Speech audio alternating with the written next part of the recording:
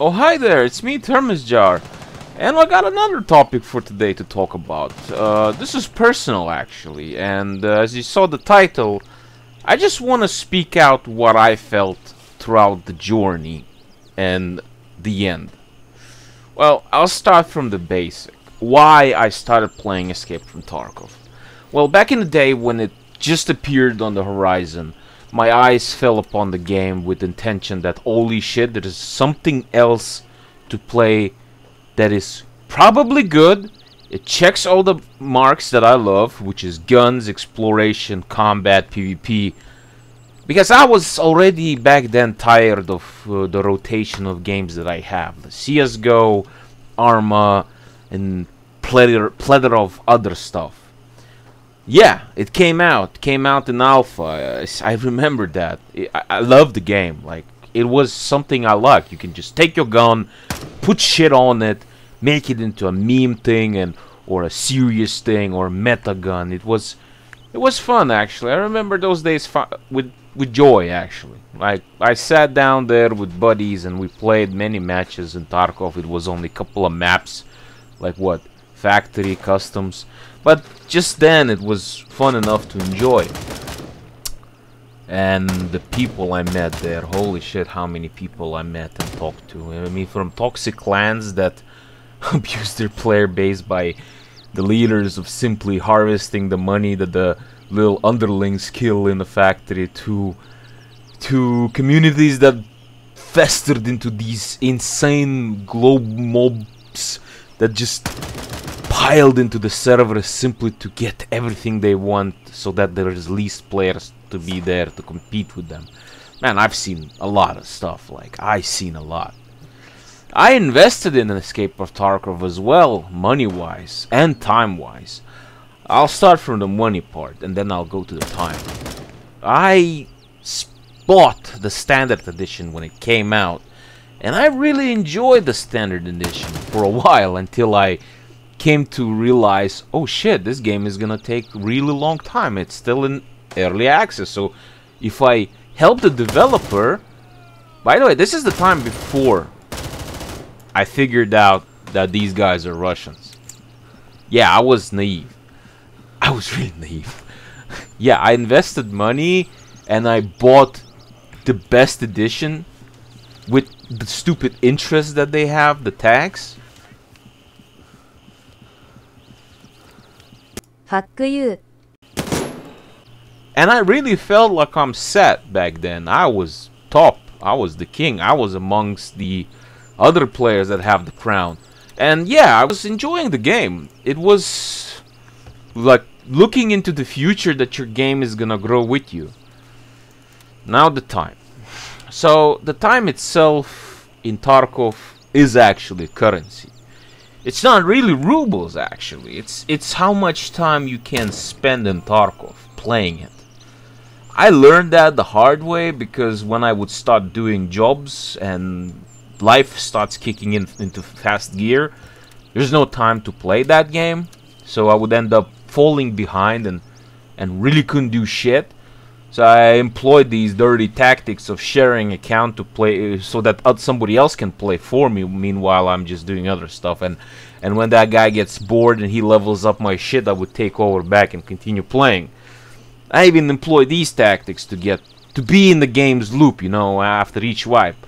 But yeah, the time itself, how much you can invest in Tarkov, is the currency or, that is intended to push the game in, for yourself, like your progression. Time is your progression because the rubles in the game don't really matter for shit. The money in the game means nothing. It's how much time you invested in the traders and the quests and ability to buy good shit that can kill better shit. That was pretty much it. You could literally empty your stash, just do a couple of scav raids, and as long as you have that high level trader with good ammo, buy a piece of shit gun that uses that ammo and you can already kill the chads. And that could have got you from zero to hero right away even if when you emptied your stash. But that's about it. When you don't have time you instantly sucked in that game. You couldn't do shit. And that was apparent for me already in 2018 and 19. Just now you probably saying it's because of time I'm not playing Tarkov. Actually, yes and no. Like, time is not a problem. You can always have a couple of hours a day. But my general reason are these guys. Yep, all of these people. These websites. Well, yeah, cheaters, man. I've seen them all. I got killed head eyes. I got my shit taken away from me. My gun was dropping, disappearing. My loot was disappearing from my backpack. I got teleported. I got frozen. Lag spiked into death. I probably got fed up most of the shit that there was the fast runners, the flyers, the invisible mofos, the I've fucking seen them all, man. And at start it didn't feel too bad because before labs, cheaters, you, if you even if you met one, you could just brush it off. It wasn't that bad. But labs came in, flea market came in. I think that's probably when it became slowly unbearable to play because it just kept up happening and happening. It's just it's a PTSD by now. Like you, I associate Tarkov with cheaters right away. Since uh, I played CS:GO in the past, you you could meet cheater there. Yeah, he ruins your game. If he's on your team, you could have kicked him if he's not with his buddies. But the game ruined doesn't mean the rest of the experience is ruined. You could just queue for another game. And that most likely would have been free of cheaters. Of course, it could be two in a row. Nobody's safe from that. But my point, I observe the cheater dramas. There's some YouTubers like Goat who literally cheated on screen just to prove how easy it is to get to that shit. And and look how many fucking websites I already scrolled through them at the beginning of this it's just ne it's never gonna end. Uh, specifically, a game like Tarkov, where match can set you back hours upon hours. Remember, this is a time-based game, so much you invest, you can lose as much as well. Like if you invested six hours into the game and you died during one of those matches that literally set you back six hours, you can do the math and see what I'm talking about yeah, that's that's the cheaters, man. The cheaters scene is fucking insane in Tarkov. And the developers are promoting that crap secretly. I'm pretty fucking sure. It's just just connects the dots all the time. Now, game's future and its DLC roadmap. Like, yeah, back then when I thought that buying the best edition was uh, guaranteed uh, full package. You're the OG. You're the best. You pretty much invested in me, so I trust you and I treat you as a really important player. Yeah. What a fool I was. I don't know what about DLCs. Like the first one that came out is Arena, then it was considered not to be DLC. Then apparently co-op mode is a DLC, uh, aka the single player mode is a DLC. I I don't know. I don't trust the company anymore when it comes to money and what they promise because it's it's a mess now like whatever they say like whatever he says is just at this point I don't know. I don't understand how we as a player still listen to that and play that game. Now I want to talk about the main culprit of this game like the guy who is in charge. That's the Nikita. Oh god, this guy is... I mean, I looked into his past. I saw what he did with uh, Contract Wars and the other games he did, which Tarkov is technically uh, offspring of. I don't know. When I found out about his past and what he used to make, I saw Tarkov eventually becoming the same thing. Because he just tried that with Arena, that flopped miserably, and here you go. He's repeating the possibilities of going back to his roots. Because he literally said once upon a time that if you make a player in inconvenient, like give him as much as inconvenience you can, he'll start most likely donating into the game so he can play equally with everybody else. I'm pretty fucking sure he was about to do that right now, but the out, the, the you know out, outlash and the whole explosion in the players going crazy about it kind of stopped him. But I'm pretty fucking sure he's gonna repeat it. Like this is another thing that scares me when it comes to Tarkov. He will repeat some kind of predatory monetization in a game, which will alienate those who have two brain cells, and it will uh, invoke those who don't have brains to continue playing the game and festering this toxic community that's already is there. I mean, he literally called the guys who are dedicated to Tarkov that throw money into it as the chosen people, the, the dedicated ones. That's that's what I found out. Like this is all I'm actually looking through the facts. Don't believe me, please. Fortify yourself with knowledge by simply doing a little bit of googling. And to the last part of trifecta, which I personally believe is not healthy for the game. Streamers. You're asking yourself, whoa, why, what did they do? Well, yeah, that's the thing. They are really big deal. Their voices are louder than yours. If your opinion correlates with their opinion and they speak it out, it's good. But 99% of the time, their opinions are not the same as the player bases that plays the game. Since streamers kind of dominated the public aspect of the game and they are socially more interesting for the developers of the game because they're promoting the game, most of the time, whatever streamers used to suggest and point out was actually being done by BSG. Ah, that's even those retarded streamer items that you could find in the game. To be honest, I never liked them, but that's my opinion. In other cases, I would say that streamers drove the ship, the escape from Tarkov, into direction where the initial idea of the game, which was actually pretty grand, like the seamless world where you could do this, that, this, it got turned down because, let's be honest, for streamers that kind of idea would not work.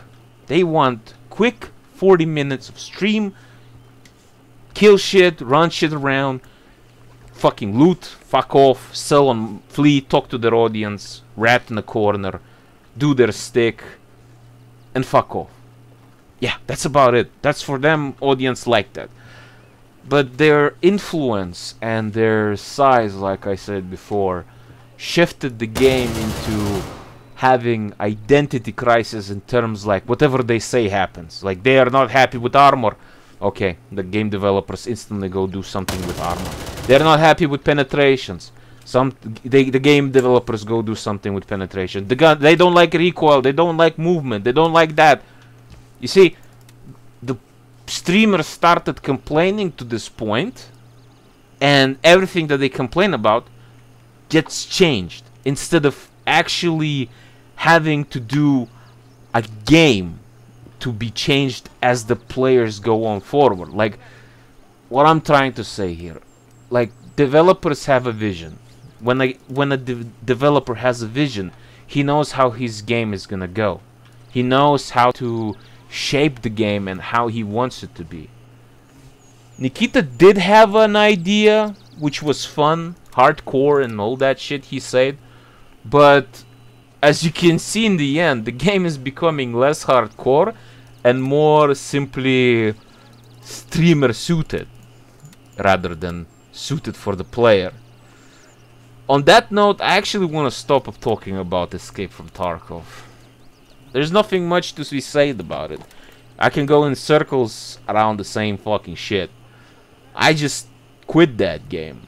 I fucking did. I escaped. But then again, speaking about the competitors of this game, like, uh, I've been looking for a alternative for a while. And yeah, I mean, there is some on the horizon.